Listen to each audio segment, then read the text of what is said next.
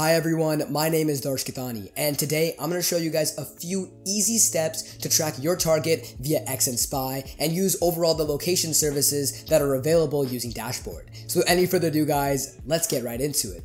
The first thing you're going to want to do is open up your web browser and type in cp.xnspy.com. You're now going to be greeted with a login page where you have to put in your credentials or your email and password to gain entry to the dashboard. Now, in the dashboard, you must go to the menu bar on the left hand side and click on locations. Now, this is where everything is going to be compiled. Now that you're in locations, you can see all the information compiled together. You can see all the places that your target has visited and the time that they visited alongside the address. So you can see everything all laid out ready for you. And you can also just see it on a map available at the top of the page.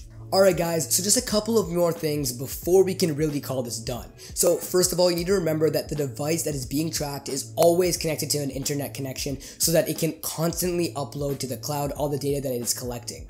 Now, in addition to this, if the person or the target is sitting in one spot and they have not moved within 100 meters, then the device will not pick up as a new place and will rather just leave it the same place as you've been there for a certain amount of time. So that's just something you need to remember if you're wondering exactly how far they've gone.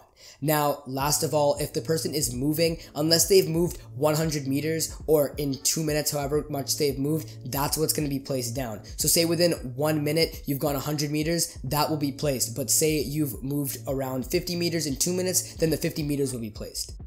Alright everyone, I hope you learned now how to use the GPS services associated with Xnspy. For more videos like this, tune in next time and subscribe to the channel, and I'll see you all later.